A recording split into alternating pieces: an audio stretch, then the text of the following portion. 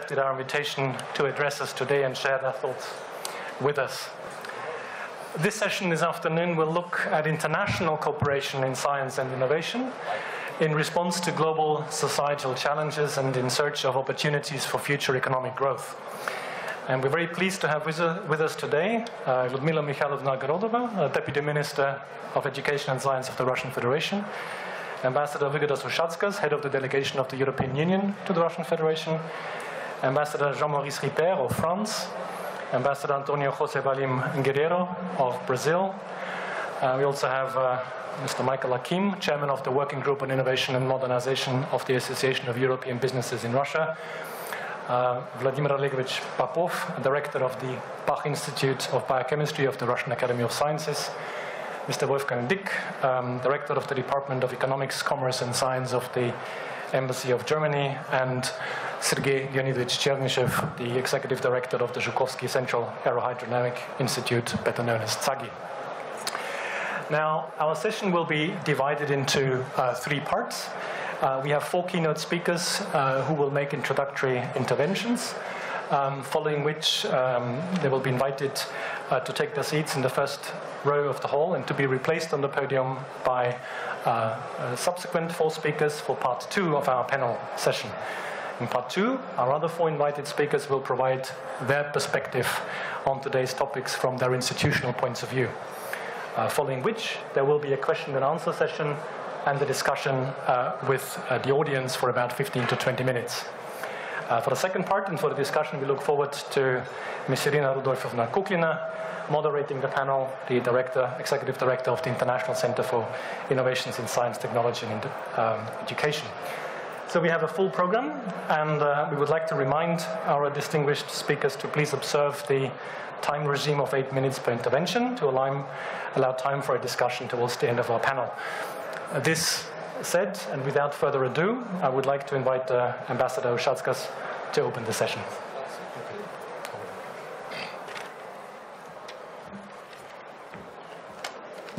Thank you very much. Thank you very much, Richard. Dear um, Ludmila Ogorodova, dear ladies and gentlemen, friends, I'm happy to be part of that session on the topic of international cooperation in research and innovations, global challenges, global opportunities, which is one of the events of the uh, Year of Science between EU, EU and Russia. So the topic of our today's discussion is very important because it's very acute and it actually covers the most acute problems of our everyday life. But in order to be uh, efficient, we have to be targeting long-term perspective. As you all know, the relationship between the uh, European Union and Russia suffered from the recent events in between Russia and Crimea and the um, western part of Ukraine. Yet I do believe that the political solution, the appropriate one, will be um, actually found and will help us one way or another to get back to the constructive relationship between Russia and uh, EU. So today's presentation I would like to dedicate to things that actually bring us together and not divide us. We are talking about the international cooperation in research and innovations. development and many of the steps it takes to bring a new product of, uh, or service to the market are increasingly globalized activities. The number of internationally co-authored publications is growing as is the international mobility of researchers. Companies are increasingly investing in research and innovation outside their homes. Knowledge has become a global commodity. We should see this as an opportunity, an opportunity to unite forces to tackle the big challenges which our societies face today, such as climate change, resource scarcity, infectious diseases, and threats to public health, food safety, and food security even if they affect people and countries in different ways. At the same time, we witness profound changes to the global research and innovation landscape. Big economies such as China, India, Brazil, and of course Russia are transforming themselves, are investing strongly in the research and innovation base and are increasingly actively engaging in international scientific cooperation. An example here is Brazil, Brazil's Science Without Borders program. Another observation is that national research and innovation agendas and the tools to implement them seem increasingly to converge. The, the, discussion at this forum, bringing together participants from all over the world, are but one example of this trend. Against this evolving background, international cooperation remains a crucial element of our research and innovation policies at the level of the European Union. In September 2011, the European Commission adopted a new strategy for international cooperation in these areas. It, it, lays down three key objectives. First, strengthening excellence in research and innovation by facilitating access to knowledge, people, and markets across the globe. Second, tackling global challenges. We need to cooperate internationally to tackle the major societal challenges that I mentioned earlier. And third, supporting external policies. Many of the international commitments that the European Union has signed up to, such as Millennium Development Goals, are underpinned by research and innovation. A specific point of attention of the strategy is to promote common principles for engaging in international cooperation. These principles, once mutually agreed between the European Union and international partners, will enable researchers from across the globe to collaborate in full confidence. We work to create a level playing field for research and innovation with common principles on issues such as research integrity, gender, and open access to scientific publications. Ladies and gentlemen, allow me to mention just a few important initiatives in which the EU is directly and actively involved and which show our commitment to international research cooperation in the context of global challenges. One of them is the European and developing countries clinical trials partnership, in which 14 EU member states, Norway and Switzerland cooperate with sub-Saharan countries in the battle against HIV, AIDS, malaria and tuberculosis. Another initiative which is gaining more and more relevance with the Ebola outbreak is a global research collaboration for infectious disease preparedness and a network of research funders from Australia, Canada, China, France, UK, US, Sweden, Brazil, South Africa, plus the European Commission. Its goal is to facilitate an effective research response within 48 hours of a significant infectious diseases outbreak with pandemic potential. Finally, here in Moscow, I cannot fail to mention ITER, the International Thermonuclear Experimental Reactor, a flagship project in a league of its own. Together with the EU, Russia, China, India, Japan, South Korea, and the, European, and and the United States are attempting to demonstrate the viability of nuclear fusion as energy source. International cooperation has been an important aspect of the European Union's framework programs for research. Researchers from 80 different countries have participated in the immensely successful Marie Skłodowska-Curie actions, while the European Research Council funds scientists from anywhere in the world to conduct their research in European Union member states the level of cooperation is such that around 20% of the projects funded by the seventh framework program, which fin finished last year, included at least one international partner in the consortium. Starting from this year, Horizon 2020, the new EU program for research and innovation, is open for international participation in fact, it is the most open program of this kind in the world, with worth than 80 billion euros for the next seven years. And we hope for the continued strong participation of our international partners, including and in particular of Russia in this program. Ladies and gentlemen, Finally, allow me to formulate three questions which have been proposed during the pre preparations for today's meeting and which may help to focus our discussions later on. First, excellence vis-à-vis -vis equity. How best to ensure that public resources are invested in the best and most promising research while at the same time pursuing regional or international development objectives. Second, competition vis-à-vis -vis cooperation how best to harness the competitive nature of research and development to maximize the benefits from cooperative approaches to common challenges. And third, global vis-a-vis local. How best to integrate local knowledge and expertise into the global marketplace of ideas and innovation. Дамы и господа, в заключение хочу еще раз подчеркнуть. Ladies and gentlemen, I would like to say one more time that innovations and research are inevitable part of any uh, global solution that could be found by the common and modern society.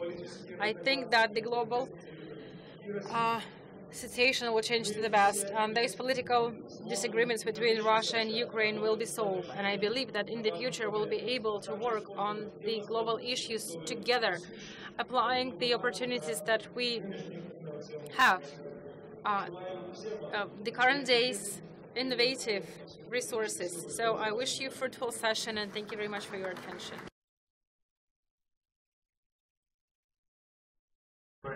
Ambassador Ušackas for this introduction. Um, I would like to invite now Deputy Minister Ogorodova to share her views uh, with us. Людмила Михайловна, вам предоставляется слово. Licher Vygaudas and dear ambassadors, dear participants of this uh, conference, despite all the processes that are happening in the at the in the politics today, I think Russian Federation still believes that it's important to create the platform for soft policy that will support the research and development and innovations and new technologies.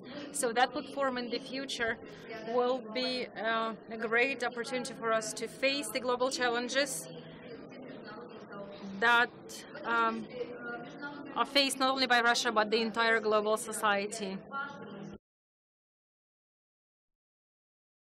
Russia believes that the development of science, technology, and innovations are one of our key goals. Going back to what Yusaka said, Mr. Yusakas, um, we have to make sure that the opportunities are equal. In our scientific and research policy, we believe uh, that the multi-directional issue, the openness and the scientific importance are the key for us. We know that mm, the 2020 governmental order allows to bring leading scientists into Russia and we have created on the grounds of the leading scientific and universities um, a few projects. And we invested about 4 million US dollars. And um, we see how fruitful that project is. And the government of Russian Federation believes that this is a great platform that actually helps to create open space and again to gain the excellence through the competition.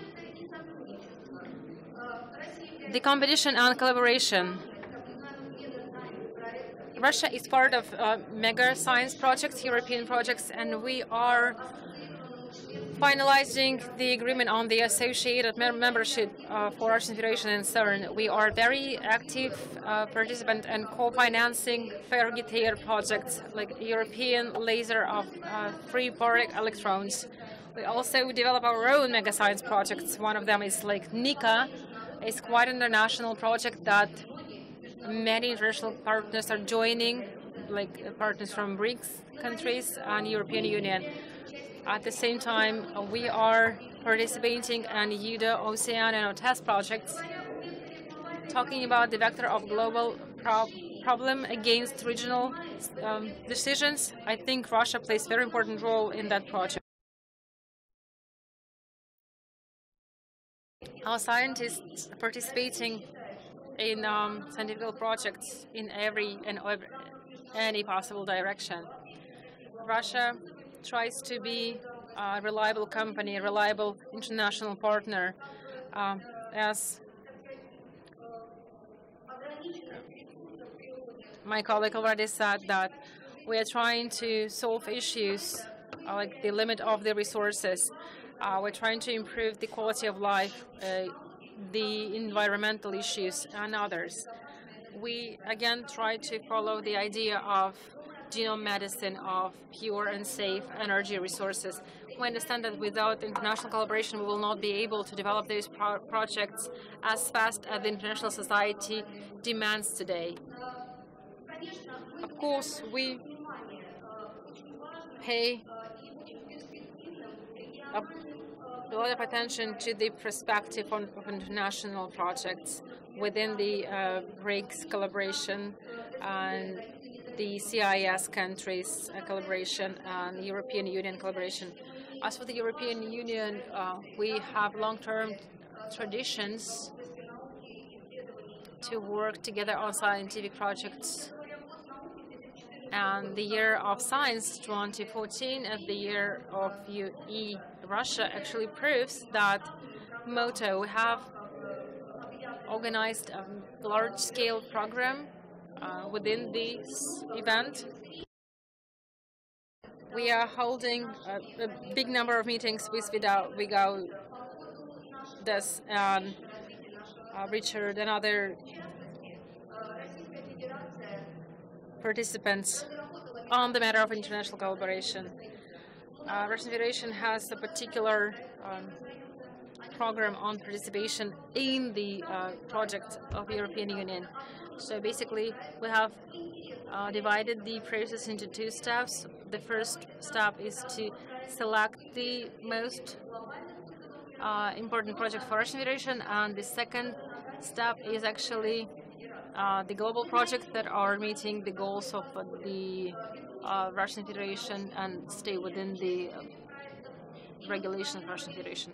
We're inviting foreign scientists in joining us in those projects. We have three years collaboration projects, and basically uh, we will invest about 50 million US rubles in every project.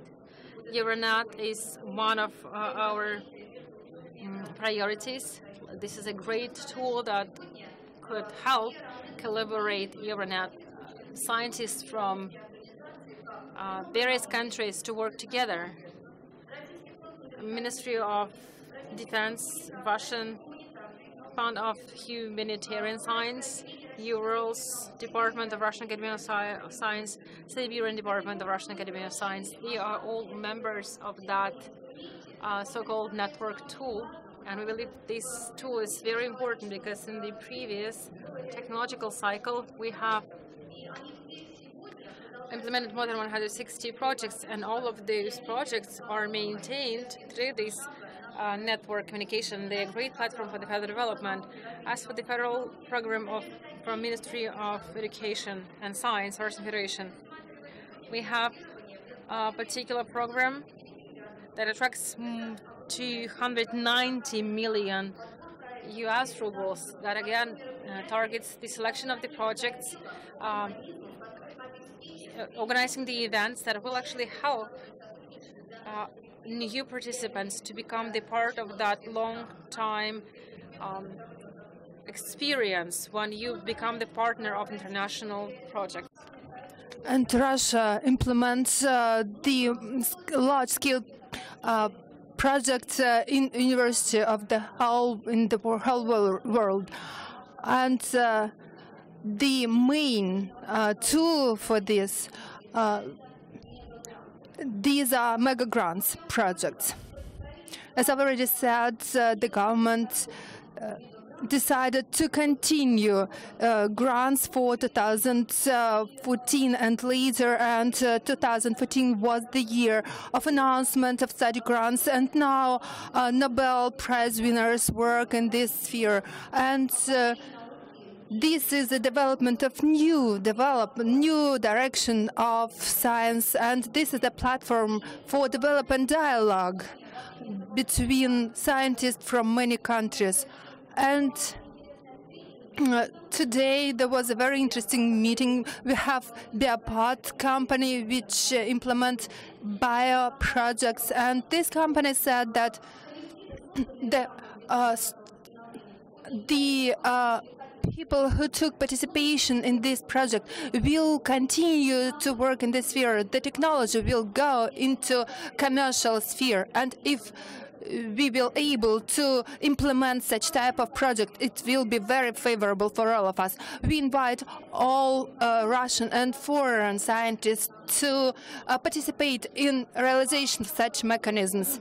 This uh, forum like this, like uh, Open Innovations, and uh, because it's very famous and uh, it it has uh, such like large scale, we understand that uh, the importance of these uh, uh, events and this is the basis for implementation of new sectors of the economy. Thank you very much. Thank you very much, Lyudmila Mikhailova, for such such interesting present report and and uh, going into dialogue, uh, it was very interesting to. Uh, to present his thoughts on today's uh, uh, topic. Um, Monsieur l'ambassadeur, uh, à vous la parole, s'il vous plaît.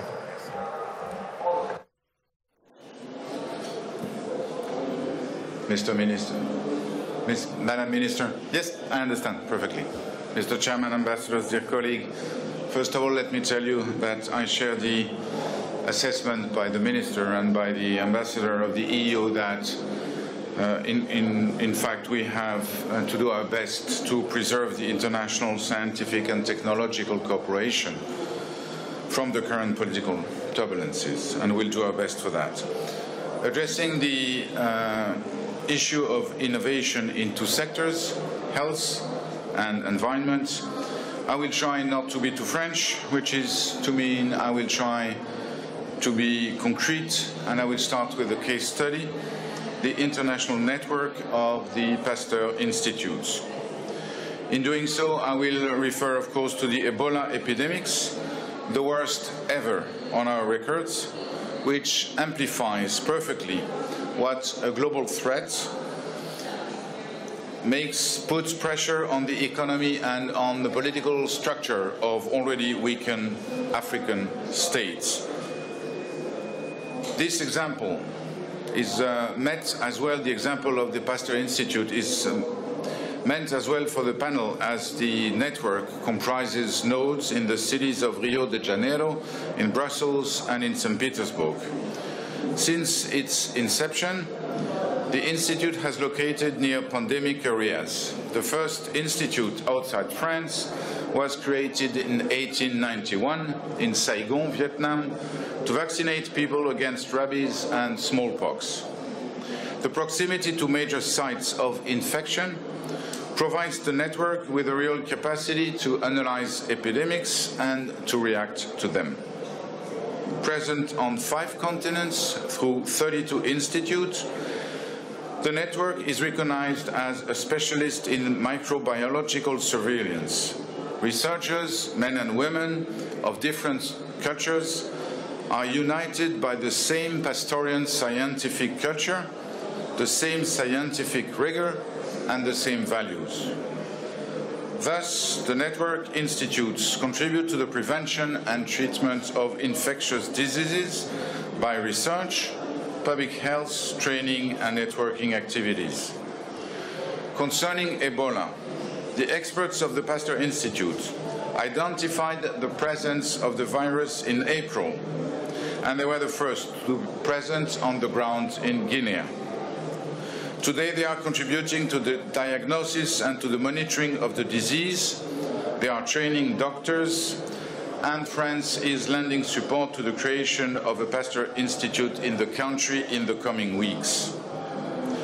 It gathers the competencies of all, bringing together excellence in research, research and capacity building. It acts, acts as a potluck where everyone brings what he or she does best to the benefit of all. Very few people know that Pasteur is as well as one of the world leading institutions in the field of life sciences in terms of valorization of its research productions. The success has been even theorized. Pasteur's Quadrant is a label given to a class of scientific research methods that both seek fundamental understanding of scientific problems and, at the same time, seek to be eventually concretely beneficial to society. Pasteur is therefore an adequate response to research needs for infectious diseases in the global, globalized world. What lessons can be drawn from the response of Pasteur to research needs for infectious diseases in a globalized world? There are certainly methodological as well as political answers. First, excellence and development in science and technology are not antagonistic. On the contrary, they serve the purpose of one another. Second, growth and common goods are compatible. Third, bottom-up and private initiatives can be effective. Fourth, network of ideas and know-how are complementary in actions. Fifth, local knowledge is, valuable, is as valuable as Nobel Prize science, 10 times for the Pasteur Institute of Paris. I will now like to turn to my second point, climate change, the global challenge by essence.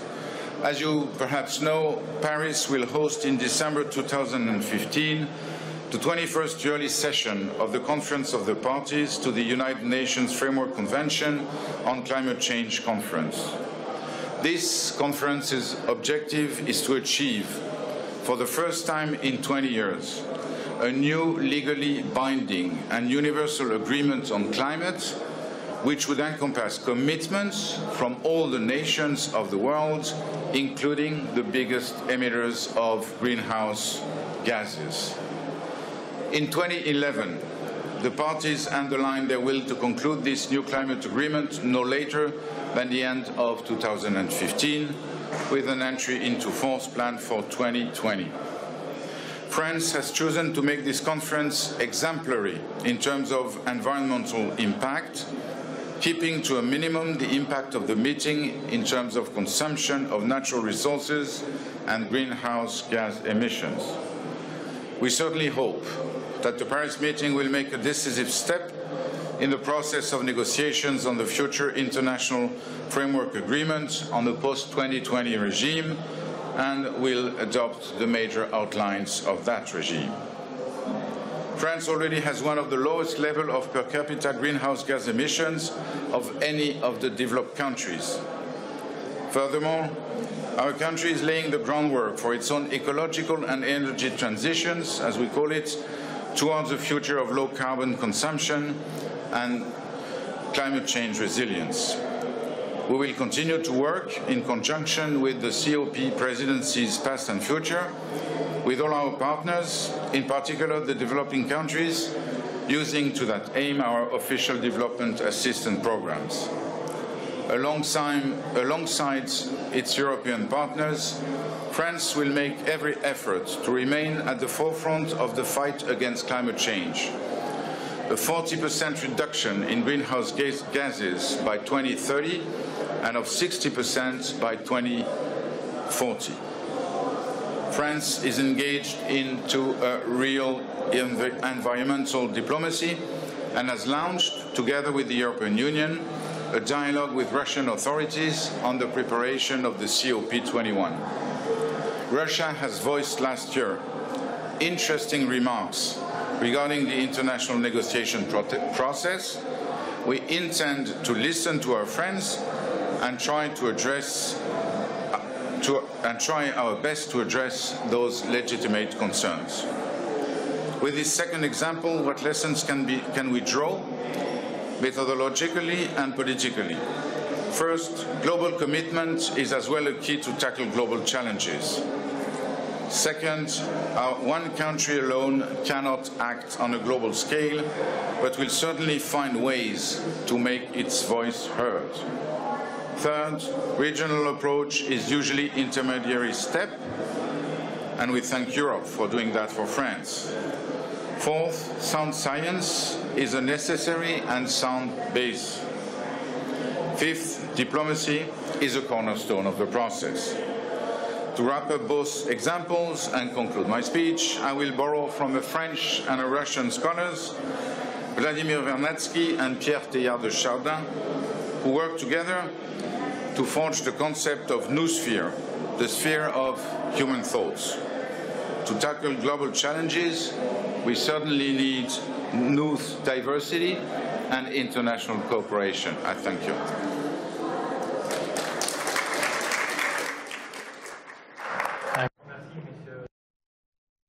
Contribution et uh, pour les exemples concrets, uh, which uh, personally I found very fitting and interesting complement and continuation of the um, uh, previous two interventions.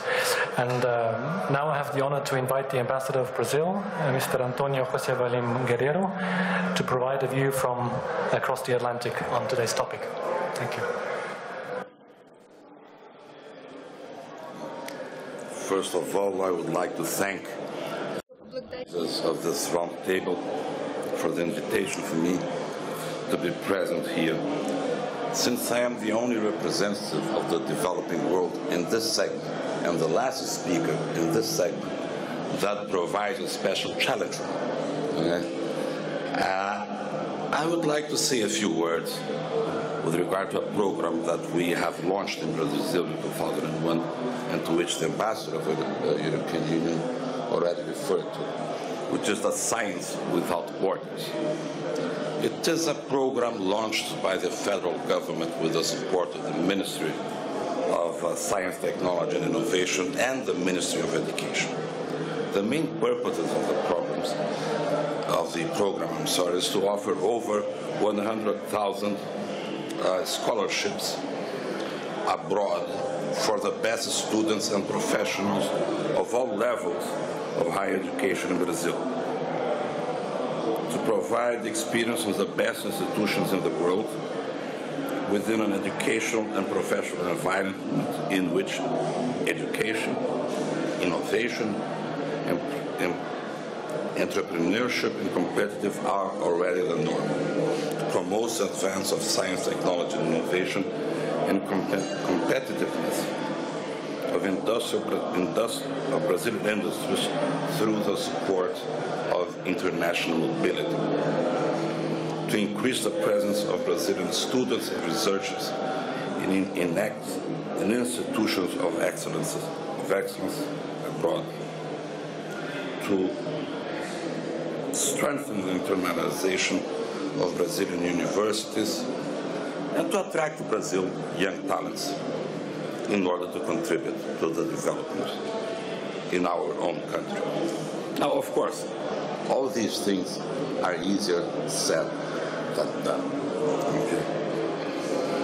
Now, our evaluation of the program ever since it was launched in 2011 is that in addition to allowing Brazilian students to go abroad, it has had other positive effects.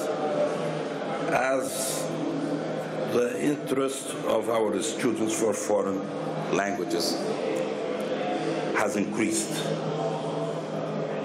And also they are being exposed to an academic culture somewhat different with less emphasis on the number of hours they spend in the classroom and more emphasis in the practice and contacts with other mentalities prevalent in other countries.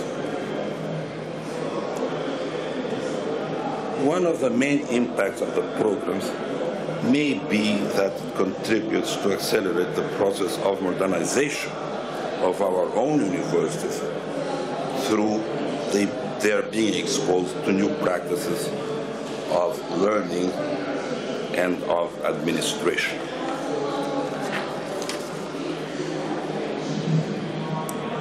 One of the main objectives is a transformation of the environment of research, scientific production in Brazil. The, this objective, it necessarily requires a reformulation on the high education sector in our own country. For an education, okay.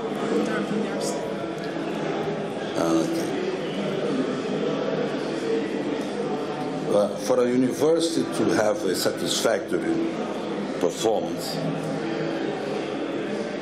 it must bring into its midst the international good practices, experiences. The science without borders, therefore, must also be seen as a form to, to remove our learning institutions from their comfort zones and expose them to world practices. In a world in which innova- scientific innovation has such a central role in the economy, the capacity to produce new scientific knowledge is absolutely indispensable.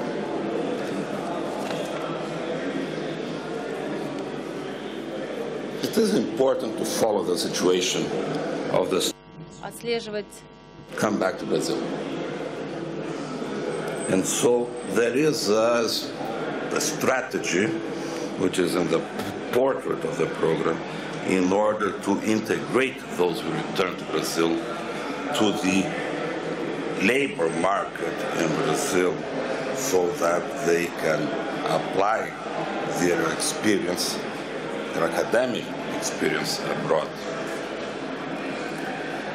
Now, let me say that Russia plays an important role in the science without borders.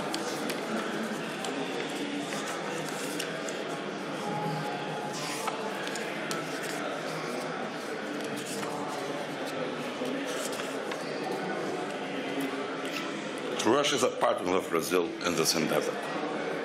Since February 2013, when a memorandum of cooperation was signed during the visit of Prime Minister Medvedev to Brazil.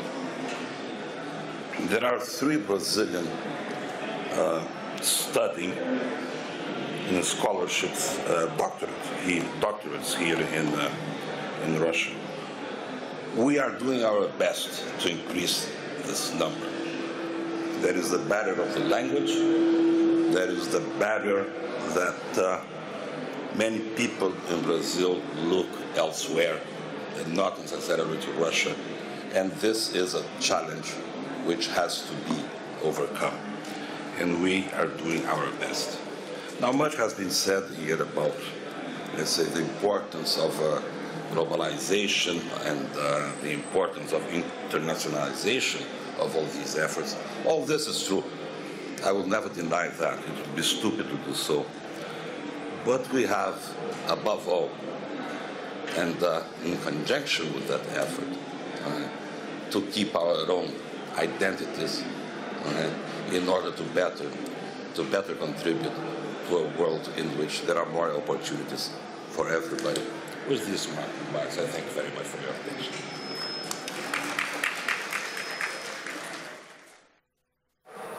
Thank you very much, Mr. Ambassador, for this uh, interesting contribution. We have, I think, we have all heard so much about uh, Brazil's different activities and initiatives in these fields that it's been very enlightening to have a first-hand account of things. And uh, I believe that some of the aspects to, you mentioned, that is uh, sending people out and bringing people in, is something that surely will be returned to uh, in the discussion later on. So thank you for shedding light on this. Um, with this, I would like to thank our distinguished speakers for their introductory interventions which I think have been perfect scene setters um, for our discussions. And uh, we'd now like to invite them to take their seats in the first row and invite our next panel um, to step up to the podium.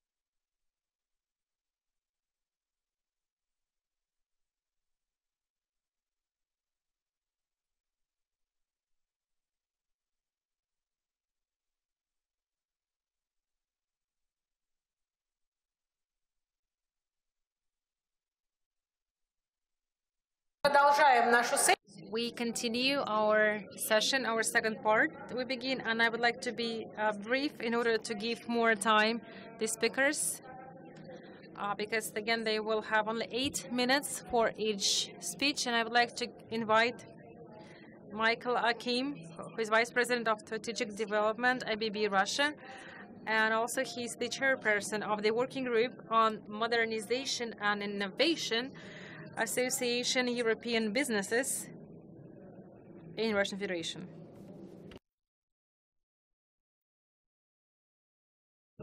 Thank you very much. Thank you for the opportunity to have my speech and to show you my presentation.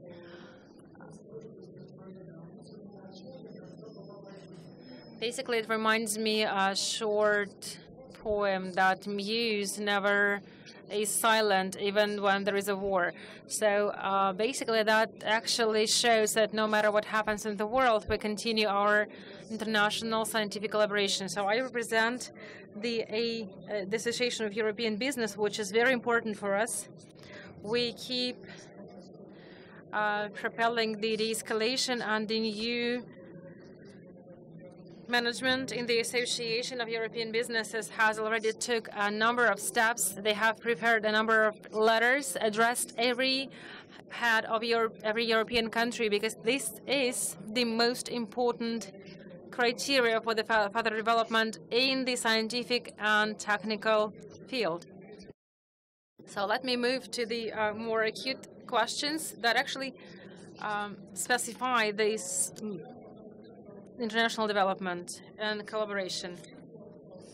I'm the coordinator of Innovation Development Group in FIAC. That gives us a number of synergies, but for the participating companies, the Committee on Foreign Investment actually brings together only 50 biggest international companies and within the, and the Association of European Businesses unites more than 600 companies. You see much bigger number. And the Association of European Businesses brings together S&Ms and some Russian companies as well. So basically, the uh, representation is quite different. But the issue but the issues that those companies are facing, they are the same. They, uh, this is the insufficient uh, legislation base, the technical uh, competence is very low that could actually help them to select the most important technologies. And if, uh, if today we talk about the um, changes in the um, geopolitical situation, the import replacement, which actually is a scary word, and quite often that tells us that we will be replaced, basically, and our contribution will be replaced even when we are the biggest taxpayers in the country.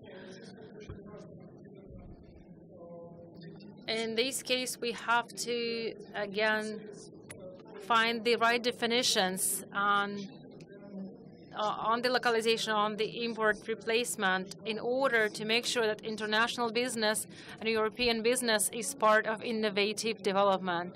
Another field of our work is the sustainable development. And of course, over the recent two, three years, our groups, group, group pays a big attention to the um, like one of the project um, electromob uh, electric cars. We attracted European companies, other international companies in that process. So basically, they are even working in the uh, State Duma we have an expert committee in State Duma that actually considers the way to develop electric cars in Russia, which, uh, and we are very proud of that project. Innovative development in regions. We hear uh, from other platforms here the Association of Innovative Development for the regions, and Irina and, and myself are being part of that uh, project.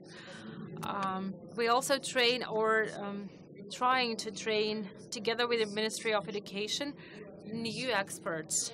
And finally, our idea was accepted in the ministry and we begin to influence uh, like the process of documentation, the 220 to 18 orders from the government because these requirements that are existing nowadays, they're absolutely not working with, for the international companies. So we're trying to find and apply the international standards, traditional standards. So the companies that are uh, actually within the um, program Horizon 2020 could feel comfortable, comfortable and actually participate in the events uh, set by the uh, Order 20, uh, 2220. We develop industrial infrastructure in Russian Federation, and as any manufacturer, we face competition and competitiveness of Russian economy. Uh, quite often it is uh, about very low production capacity, very low income. Again, that has one way or another influenced the sustainable development and the labor capacity. We have recently been talking uh, today with our uh, um, colleagues at other sessions that the, um, Russian manufacturing uh, companies are not highly competitive. So this issue of making them competitive enough is very important. As for the long-term strategy and short-term strategy, I think any company uh, tries to have a business plan for years and years ahead, or plans uh, the capex for years and years ahead, and they would like to gain a particular sustainability on the uh, existing environment. So they would have a better chance to uh, have, have a forecast of for their development. The members of the Association of European uh, Business, uh, they are leaders in innovations like um, companies like Siemens, Volkswagen, um, companies that are being represented by ABB and many other companies. Uh, we all target the innovative development. We invest a lot, and that allows us to actually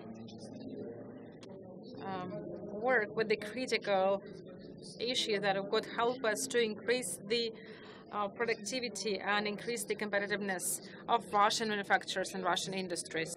This is the automatization and robotization of production model principle of production of of uh, designing the principle of sustainable development, the opportunity of, of systematization for products to uh, pro to uh, implement in mega uh, in uh, megapolises and so on and so on.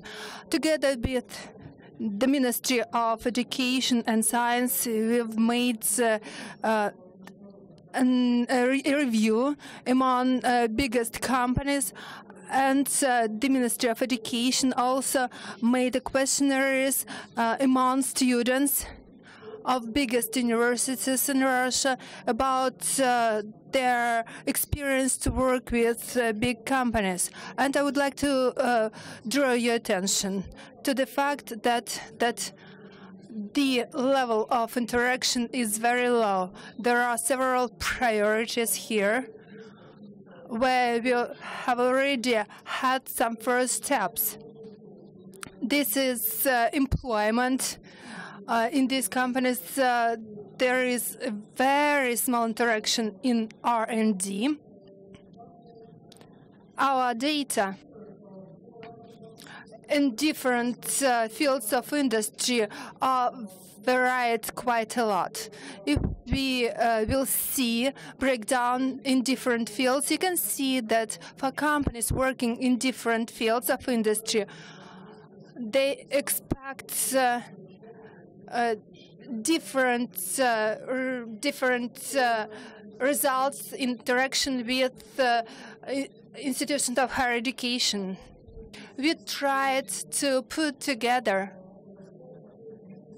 all data to make this uh, small meta-analysis. What are the key drivers uh, here? The key opportunities. They are connected with the fact that during recent years, there was uh, investments in uh, material uh, material basis, and we can uh, implement it in interaction with international companies and uh, to improve the Russian uh, science. The key problems are uh, bad knowledge of in understanding the market and uh, the lack of local research uh, research workers which can participate in developing new products in commercialization of new products to put all the links of the chain together from the fundamental stage into launching into the markets for every uh, product. We need to do a lot in this sphere, and we are glad the opportunity to develop this process on the basis of cooperation with and we invite all of you to cooperate with us in this relation. Thank you all very much. Thank you very much.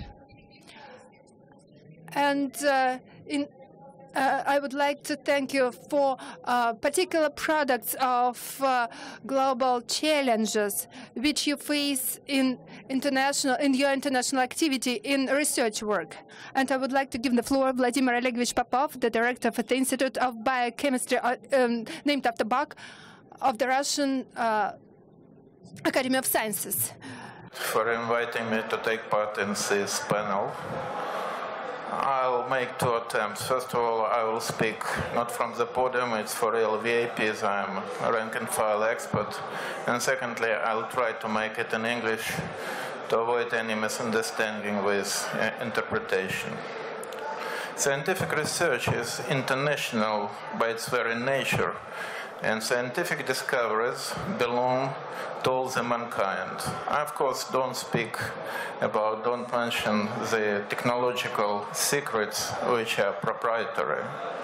It is impossible uh, to imagine modern international research landscape without huge joint multinational projects like, for example, International Space Station or CERN, Last but not least, uh, such cooperation is stimulated by very high cost of infra research infrastructure, and just individual countries can't afford. They have to share and to hedge the uh, so financial risks. Another evident driver for international cooperation is an intrinsic transborder character of many challenges that modern societies face. The list is very long, just to mention feed and food security, infectious diseases, and so on. Uh, and of, but the main driver of the international cooperation, in my opinion, is just uh, plain human curiosity. Scientists tend to cluster together and then they form the consortium teams. They look for uh, complementary competences and sometimes they couldn't find it nearby, so looking abroad. So such is a good basis for international cooperation. It so happened that for uh, quite a number of years, more than a decade right now, I have been engaged in the international cooperation with the European Union because my institute, the Bach Institute of Biochemistry, since 2003 is the home of the national contact point uh, in cooperation with European Union in the field of uh, agri, bio, and food.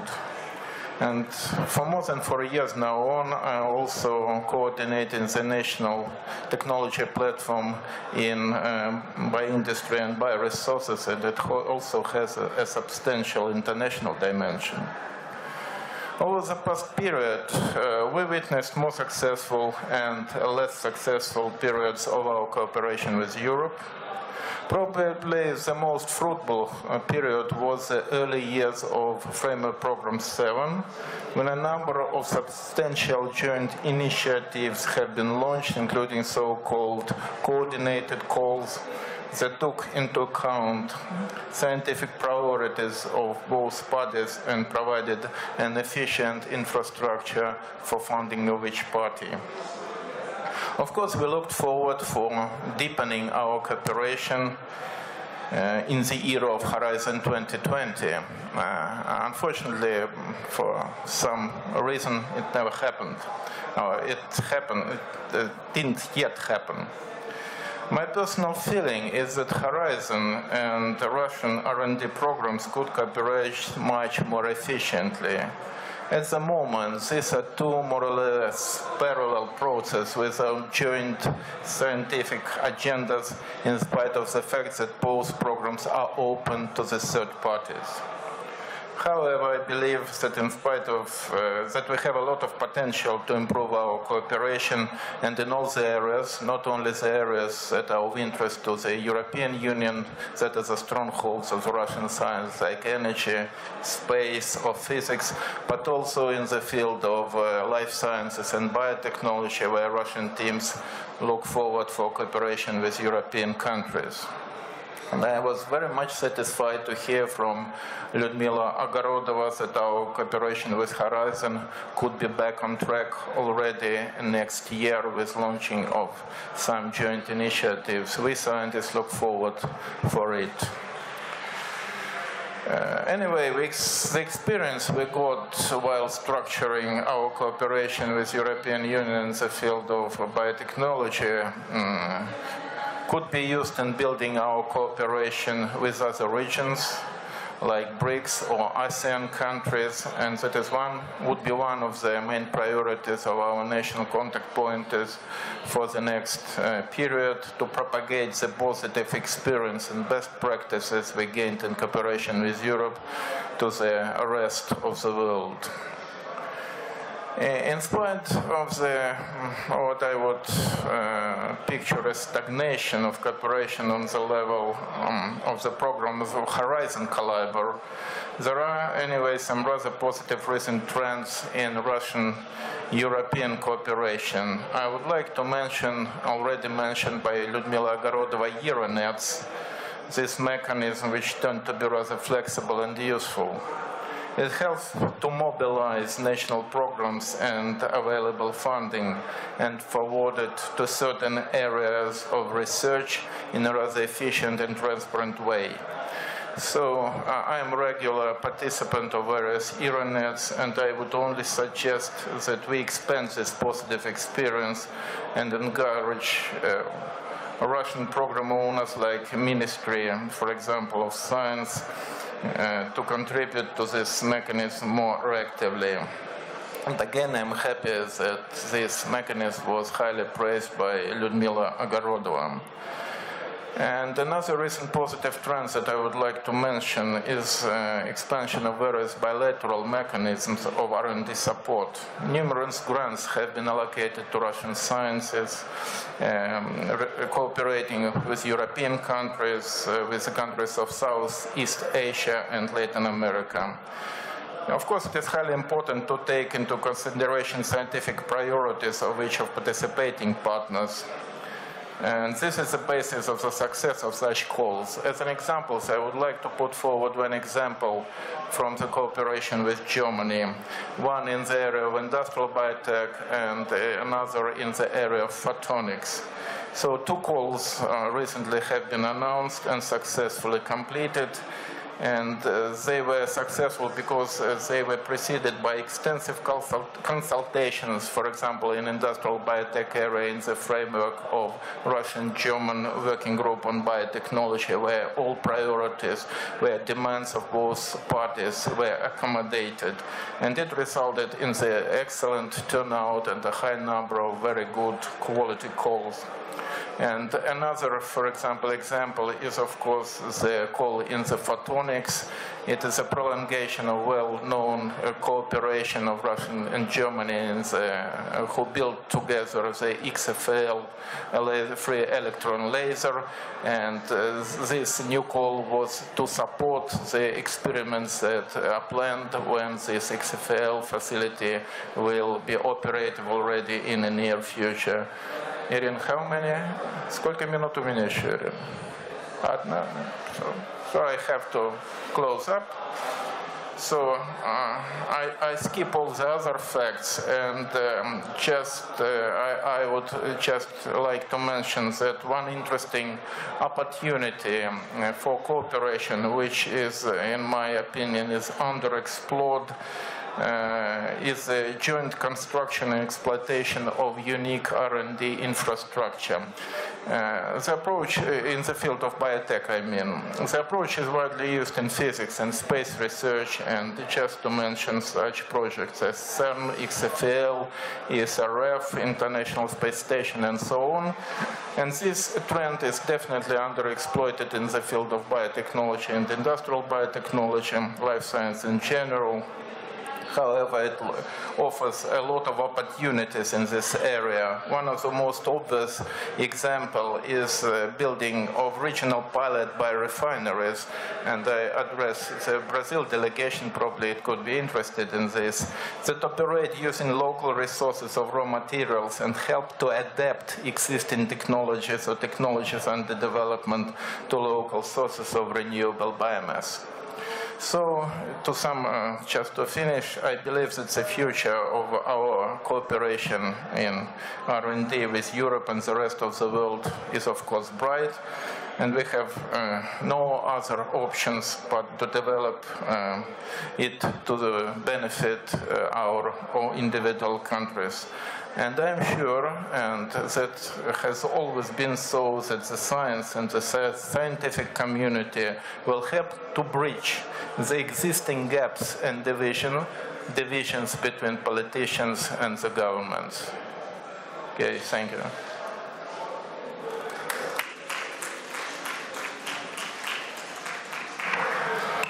Thank, thank you, Vladimir.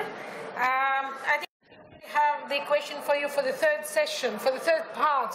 We'll ask you exactly what for your institute uh, was the result of so many programs and parts that you participate, but we'll come to the third session. Let me now uh, give the floor to Wolfgang Dik, Director of the Department of Economics, Commerce and Science, Embassy of the Federal Republic of Germany to the Russian Federation.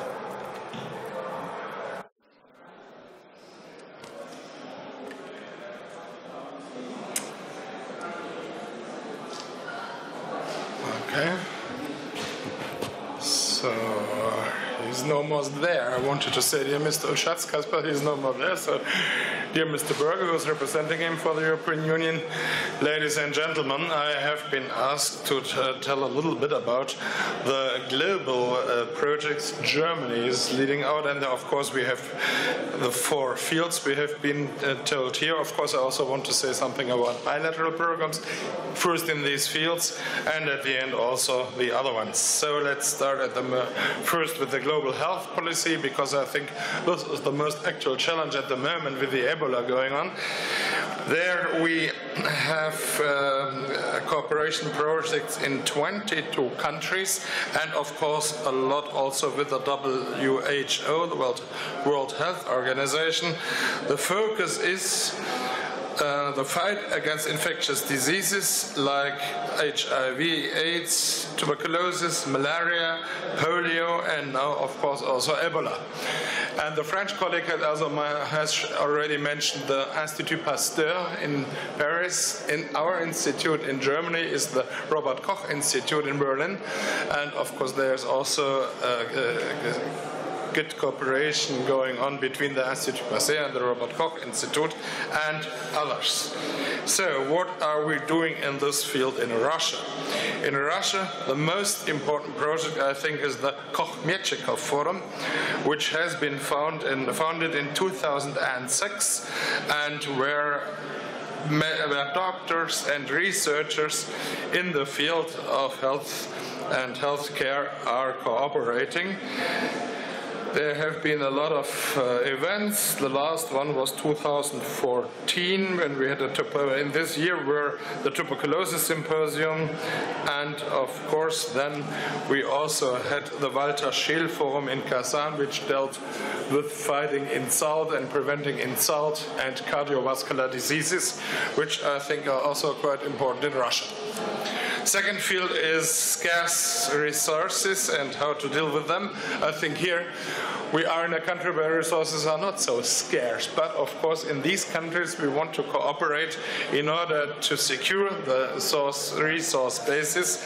And this means also that we have a, a, a strategy on that.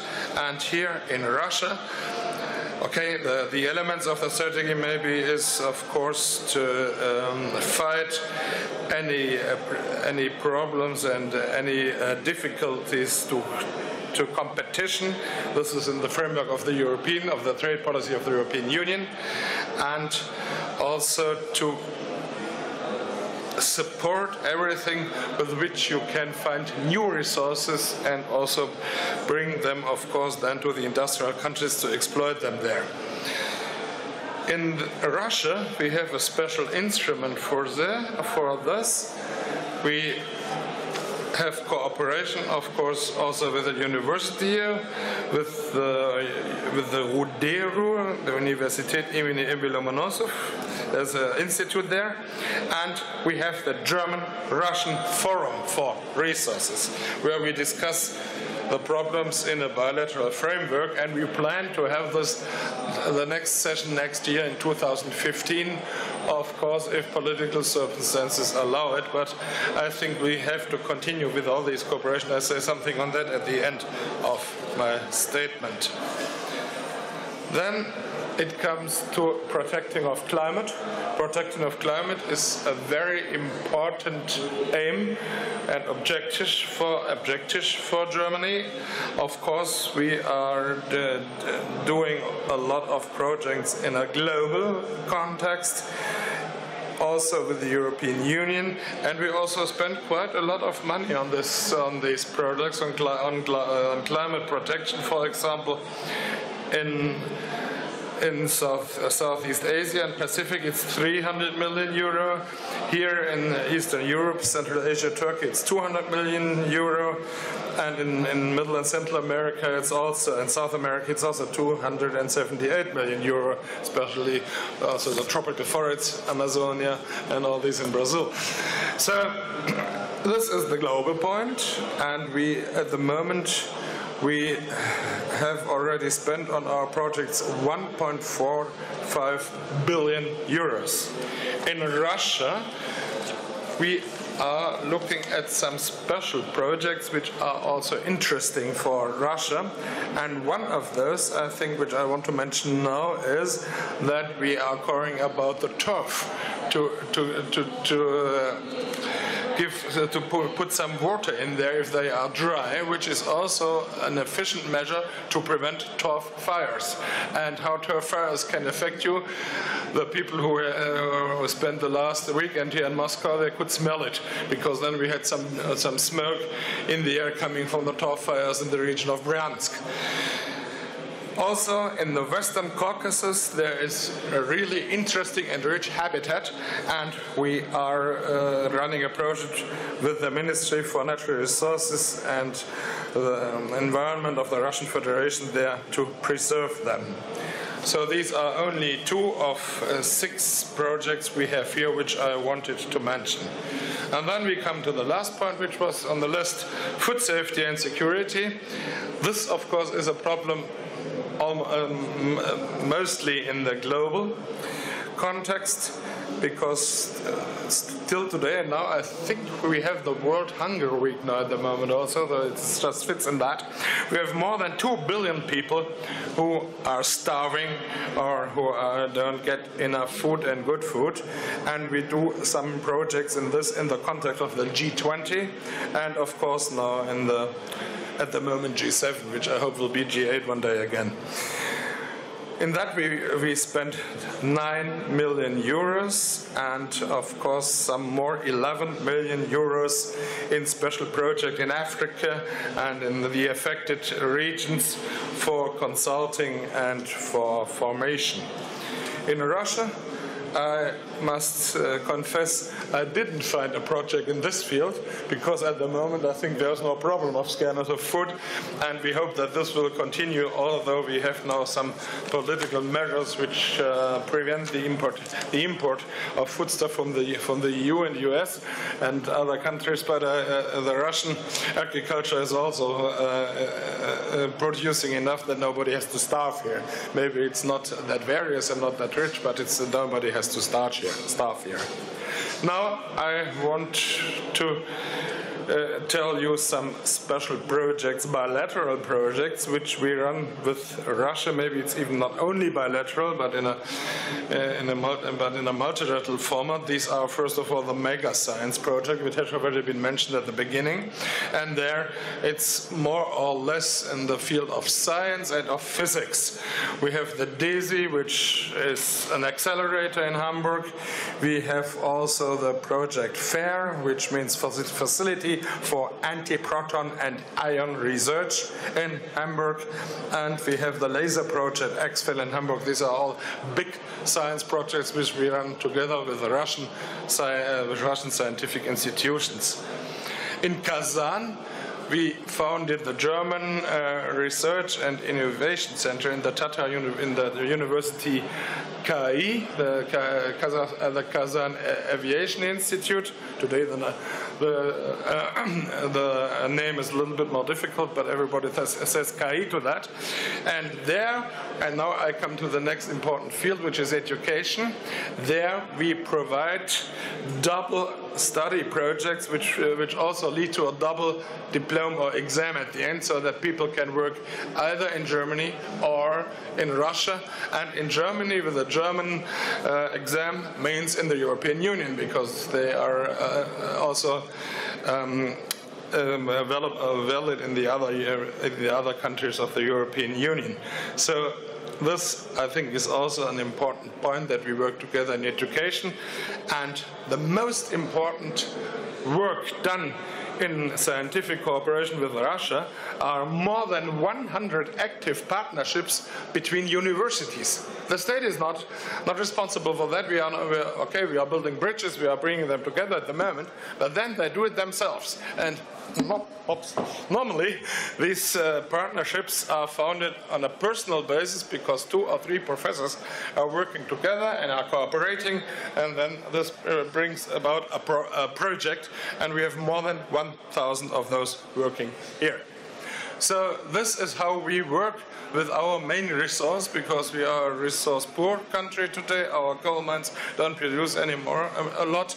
So the most important resource in Germany and of, of, of Germans are our brains. And because of that, of course, we have to bring this into account.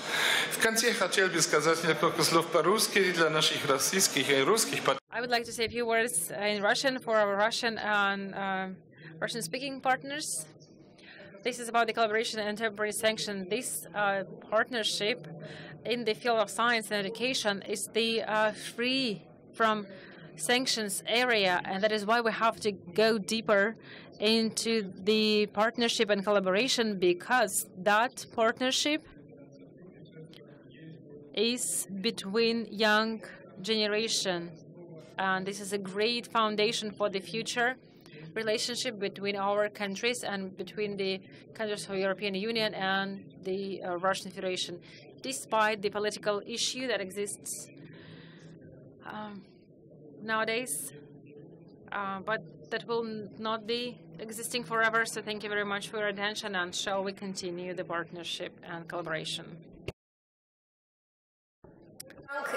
Thank you very much, Wolfgang. I know that the scope of collaboration and partnership that exists between Russia and uh, Germany is very difficult to squeeze within eight minutes that you have for presentation. Probably this is the the best or the biggest prog program um, that actually implies the real, actual projects. And um, we're thankful for that. I would like to give the floor to Mr. Chernyshev, the Executive Director, TsAGI. I think uh, we can uh, look at the examples of the most prominent uh, partnership and collaboration with the entire world and the scope and the scale of the partnership between Russia and the European Committee uh, on all the projects that were happening. Thank you very much for the introduction. Thank you very much for inviting me at this wonderful forum, Innovations. I will be uh, speaking not only on behalf of my um, organization, but as the national point of contact, as the um, this is the um, point of contact between Russia and Europe on the aerospace aerodynamic um, projects. Probably this is the probably most important facility with the 100 years history and we see in retrospective um, how uh, that center was founded. This is the biggest in the world center.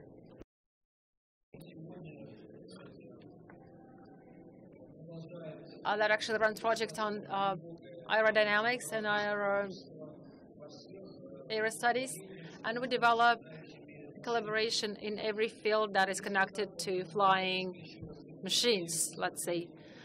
And again, in the retrospective, we see the issues of uh, the lack of collaboration remains very important. The visits to TsAGI of one of the most prominent aerodynamics uh, in the world, Mr.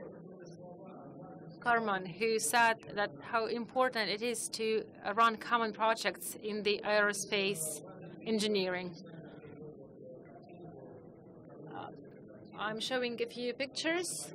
Uh, these are planes to Tu-144 that was designed in 1960s and a few months later, the Concorde was actually uh, commissioned. So these were times after the Cuban crisis, the Cold War uh, period. And even back then, Russia, France, TsAGI, ONERA, our subsidiary in France, um, very uh, tight collaboration and we kept exchange scientific um, discoveries. And that was the platform for the aerospace engineering development. And three, 30 years later, that plane became an international flying lab that was covering the fundamental issues of aerodynamics.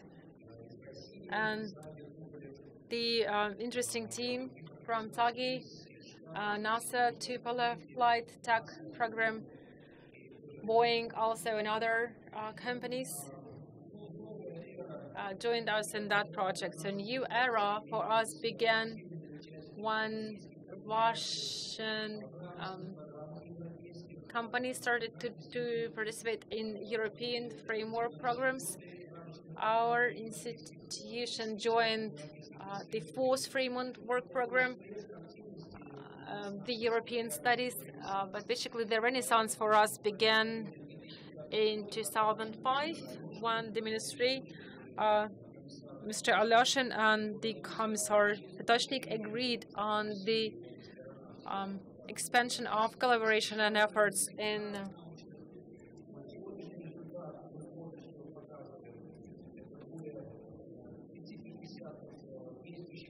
You see, we are currently working on more than 30 uh, projects, and I have to again mention the very big support from the uh, for this that we get from the Russian station that actually helps us to run international projects.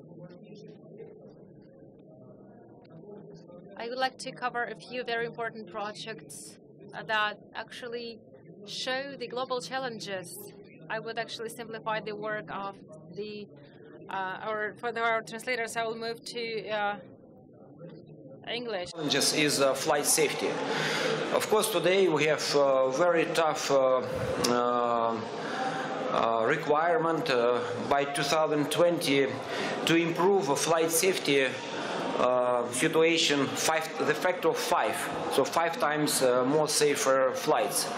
So in this case, we have to um, check every uh, position of aircraft during flight envelope and um, actually introduce a smarter, more smart uh, cockpit and some other uh, control system that uh, could uh, improve, uh, dramatically improve safety situation.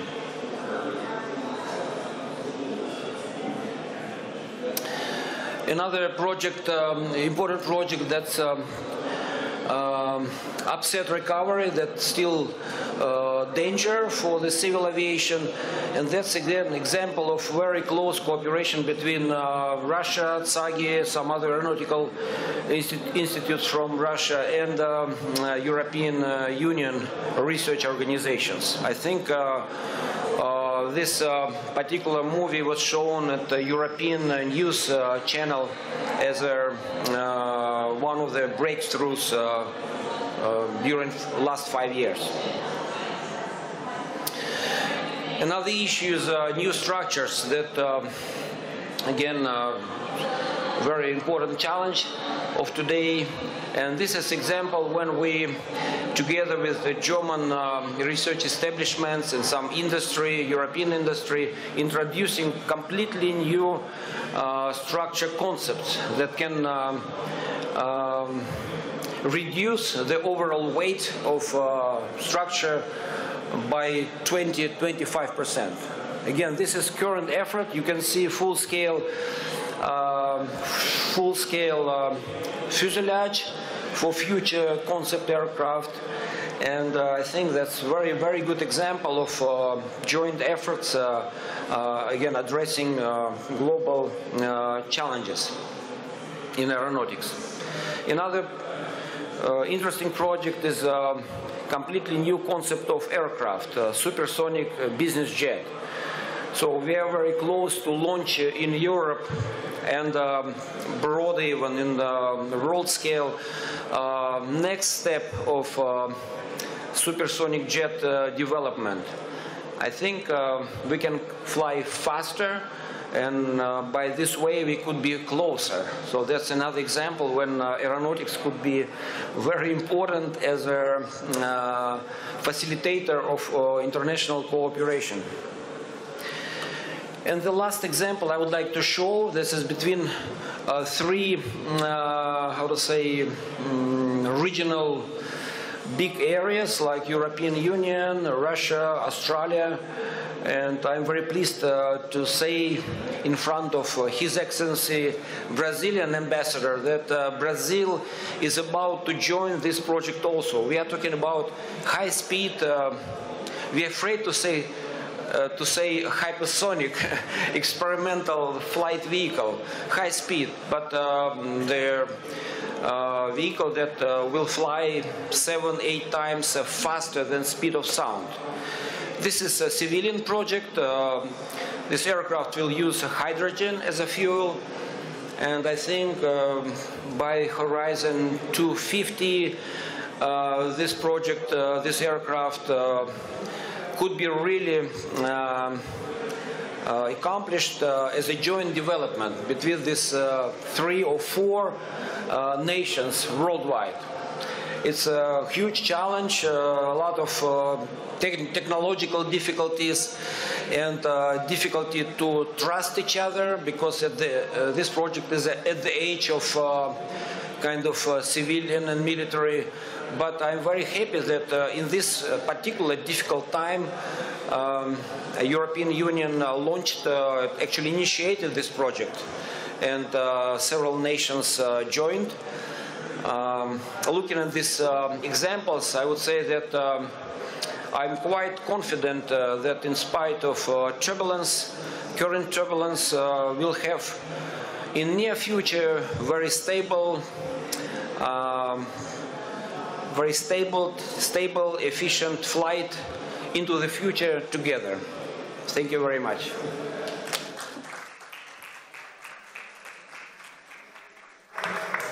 Спасибо большое, Сергей Леонидович. Вы так... Э... Thank you very much, Sergey. I think that most of the, uh, our audience are flying fast, uh, flying often, so uh, it's important that you are trying to bring this, those research and scientific projects into the life of every uh, participant every uh, in the audience. So I think everyone will be only for those innovations that are happening in the aeronautics science. We have a very little time for Q&A session. What are we going to do?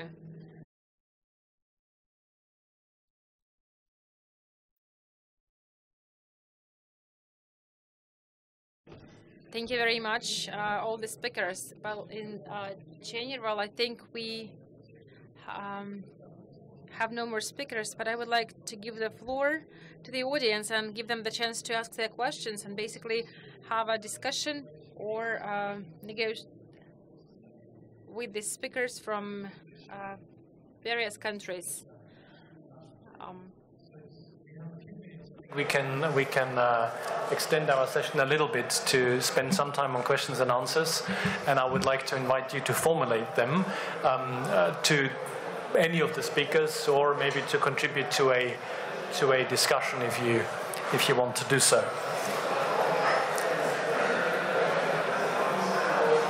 Yes, please.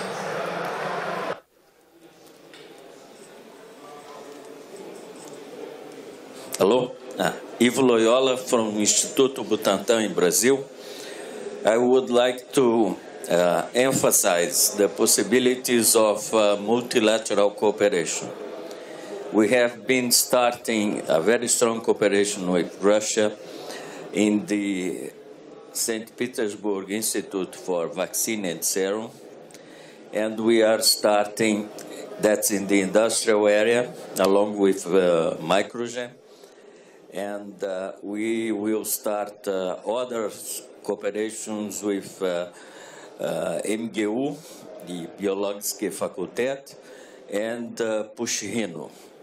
I think this kind of initiative is very interesting for both countries. We are planning uh, industrial research, exchange of technology, new industrial technologies, and also basic research that will support uh, future technological developments in the field of vaccine and serum. Uh, I think that uh, there are big possibilities for the biotech if you consider the merge of uh, the medical biotech with the energy and the agriculture. As we see biotech, the, the future uh, the future fabric of uh, the plant of any biotech product could produce uh, any biotech product, be it medicine or energy or an agricultural product. Uh, and that's a possibility that uh, has not been explored in the research field and in the development field. I think the cooperation with the Russians is opening doors to that, but I think the Europeans should join us uh, very soon to do something on the subject.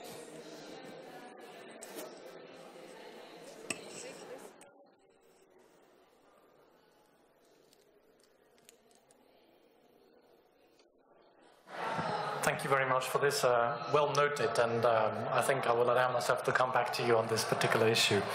Um, other contributions or questions, please? Are there any? Yes, please, René. Uh, my name is uh, René Pischel. I'm the head of the uh, presentation of the European Space Agency here in Russia. And I have rather a comment uh, than a question. Uh, I would like to add uh, a further dimension, of course, uh, to what we heard uh, from the previous speakers. of course, there are a lot of multinational uh, cooperation together with Russia uh, in space. Uh, on the first place, of course, is the International Space Station, and of course, uh, on a more bilateral basis, is the ExoMars project, uh, with launches in 2016 and 18 uh, between ESA and Russia, with a goal to have an unmanned mission to Mars. So that is, these are further examples to what we heard about cooperation. Uh, as a second point, I would like uh, to add that, of course, cooperation has, in addition uh, to the results uh, we get out of the cooperation, is always the obvious result of uh, bringing people together and making people work together, uh, which is very important, in particular for, for space projects, which tend to have, tend to be very long term, like 10 years or 15 years, which then in turn result in really good in good relations among institutions and also amongst people. And as my last point, and this is more like a comment, uh, it, uh, we forgot to mention uh, that cooperation is not easy.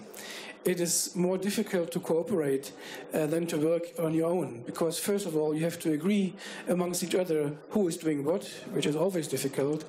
And then uh, on top, uh, in the cooperation with Russia, uh, we have uh, particular problems uh, like different culture, different standards, different language. You all know that, I don't have to tell you. Uh, and uh, I would uh, like to ask all participants of the forum here to do their best to lower the burdens in things they have influence on, like standards, customs, regulations, law regulations, what have you, uh, so that those who cooperate have to deal all, only with the difficulties uh, they are able to solve and not with all the other ones. That would be a wish. Thank you. Thank you very much, René, for these uh, additional points. Yes, indeed. I think uh, um, all the speakers stressed the the um, the upsides and the positive aspects of cooperation. Uh, we had very few statements about the difficulties that are inherent in a multilateral or international um, uh, context, of course.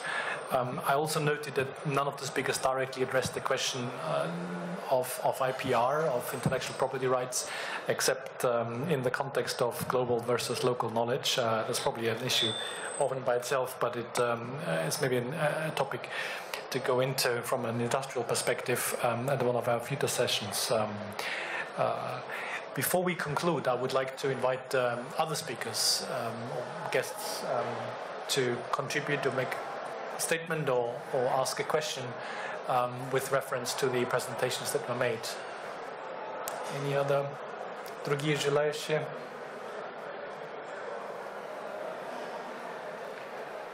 No? Yes, yes, Irina.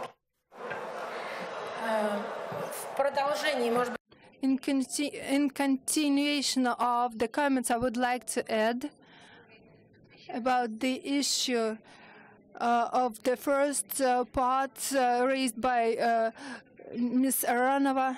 I would like to add that Russia uh, take participation in uh, uh, bilateral programs and in cooperation with Brazil in discussion uh, joint programs uh, takes a very important uh, part in our work. And starting from 2015, uh, we will work in a very active way here. And we finished very interesting programs uh, in cooperation with France. And this year, we already started, launched 14 joint projects launched in the framework of joint expertise uh, between Russia and Germany. And I think uh, that this is very active process and Russian, the Russian Federation is open for launching of new projects. Important to know and well noted. Um, any other contributions or questions? If not, yes, please, absolutely. Uh, Sergei Afontsev, EU Russia Industrialist Roundtable. I would like to continue this very important idea uh, by uh, noting that uh, what is needed is not only research, is not only development of something that can be, you know, used somewhere. It's very important to uh, develop a framework for practical application of the results of this research. Otherwise, uh, you know, uh, at least one partner can um, can be, you know, a kind of loser uh, who contributed something to the general result but cannot enjoy the practical uh, results of application of, of, of these product into the practice. So we have a lot of, uh, well, for example, uh, we in, in, our organization have a lot of examples when Russian uh, educational and scientific establishments contributed something to the, you know, common intellectual product, but we are not able to uh, reap fruits of uh, these particular intellectual products in terms of application, uh, of practical application, in terms of uh, commercialization, in terms of business uh, um, business application. So that's why I think we should cooperate not only on research on, you know, of course, the research framework is the least contradictory one.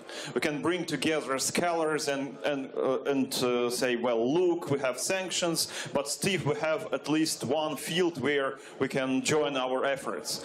But it is much more important to join efforts on improving uh, improving business climate, improving uh, uh, a regulatory framework for cooperation. Because if we invent something, if we have intellectual result in, in, in terms of science and technology, but uh, you know the practical cooperation in technological field is banned with all these sanctions. So what is the use of development technologies?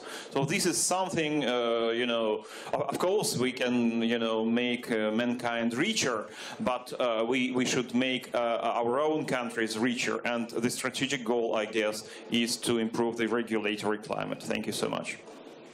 Uh, uh, if I can add to what you just said, this is the reason why we're so anxious to focus on some program like 218 and to get all foreign uh, business community, all European companies involved in those program because it immediately improve the quality of this research, not fundamental research, but applicational research. Because applicational knowledge, commercialization, and marketability of the product, this is the king. Yes, I should also like to add, I very much agree with what you said and not only regulatory. It's not only uh, not everything is about the state and its regulations, but it's also about the interest of the researchers to bring their project to a practical application. And uh, I must say, in this regard, in Russia, there is still some room for improvement because uh, this is a country of excellent fundamental research. This is a country of high scientific level, but the innovations and the research and development work for production that till today are done elsewhere. And when our companies produce here in, the, in this country, then they bring their R&E, the R&D uh, skills from from Germany because there it's done like that. And for that, I think what you first need, of course, is another approach in education so that in education you always see the practical point when you learn something also in university. And I see some very good uh, examples of that here in Kazan in our institute. Just last week I was in Ulyanovsk and there in the Ulyanovsk State University they also have now some workshops where they just practice it together with people who work outside there. And I think this is a way to be followed in the next time. We also are very fond of our German Mittelstand. That means the small and medium enterprises, and we'll have a workshop to on Thursday this week, together with the Russian FASIE, the, the federal, uh, like, what is, was it? Uh, this is a uh, fund, yeah, fund of the application of science and, and, and development and uh, with enterprises, and there we bring middle. Uh, we we try to work out together how to bring this knowledge over to the small and medium enterprises, which is also a sector to be developed here in Russia. Thank you. Maybe I would also like to, to chip in on this. Thank you for bringing up the question. Uh, I think it was it was mentioned during some of the speeches as the tension that's inherent in the R&D process between competition and cooperation. And I, I, I agree with the previous speakers, but I think there is even another aspect to it. It's not that's a question that's not only inherent in international projects. Um, the question of the extent to which academic institutions, universities take part in this process is something we face nationally and, and inside the European Union as well, for instance. Uh, I've interestingly, I, I, speak, of course, under the control of our colleagues from the represent industry and business, who know this much better than I do, but in our multilateral international projects, which the European Union funds, for instance, we have found that the that question doesn't really come up and it doesn't accumulate, it doesn't culminate in the question of IPR usually because companies only go into a partnership if they're confident that that will not be a problem. So the question, it's a, the problem doesn't, doesn't appear at the project level because it's solved before, if you like. That doesn't mean it's not a problem, but it doesn't culminate at the project level. Um, uh, but of course, it's, it's an important topic that we're also trying to solve inside the European Union. Uh, for instance, the, the grants which are being made available by the European Research uh, Council to fund fundamental and frontier research and are complemented by, um, by grants uh, to additionally uh, incentivize uh, researchers to take their research results closer towards application, towards marketability, to commercialization, if they think there's something in that. Uh, and it's an educational process, so I very much in, agree with Wolfgang here in this, in this regard. Um, other comments or, um, or, or statements or questions in this regard?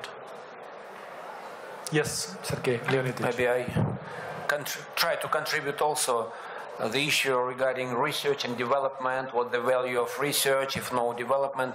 I think uh, for me as a research entity from one side, an industry actually entity from another side, I think it's a, a very simple answer that uh, uh, in the research uh, stage, when we are talking about technology up to technology readiness level 6, that's uh, common efforts. Uh, we can share all the information. We could be equal partners. Um, and that's actually very broad and uh, uh involve a lot of uh, researchers, students, uh, PhD students, postdoctors uh, for postdoctoral research and so on and so on. So it's really like a cultural uh, interaction between the nations. I think that's uh, extremely important, and that's, uh, to my opinion, what uh, the makes makes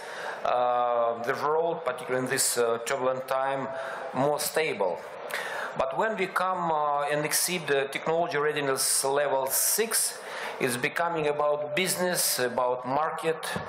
So we can work in very broad base and cooperate uh, uh, on uh, pre-market research, pre-market uh, work together. But uh, when it's after this line, it's partnership.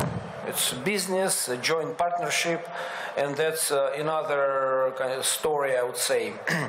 so I think the topic of this forum, international cooperation in research and innovation, it's two parts. And I think both parts are very important. And I see the value of research um, uh, existing. Uh, of course, important that uh, the result of research go through and uh, actually uh, go to applied stage and uh, come to the real products. But even in, for research, efforts, uh, we can work together and uh, provide a lot of bridges between different nations. I think it's extremely important, particularly in this difficult time. Thank you. Yes, please. Okay. Uh, just an additional comment. Uh, from our experience in biotech, the problem is that the industrial guy does not usually see a factory when you present him a new product.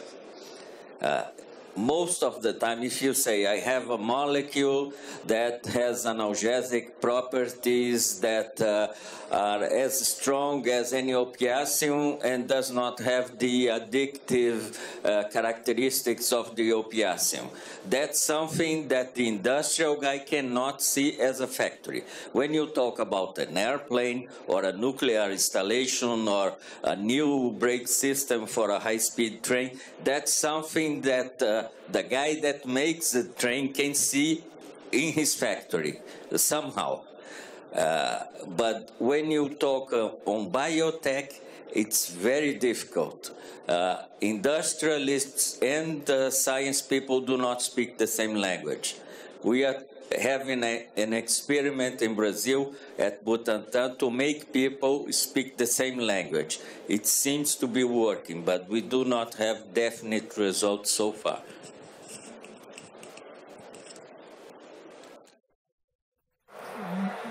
very interesting comment on that. I think that would probably be a topic for a separate seminar, but um, um, um, I've taken good note of that.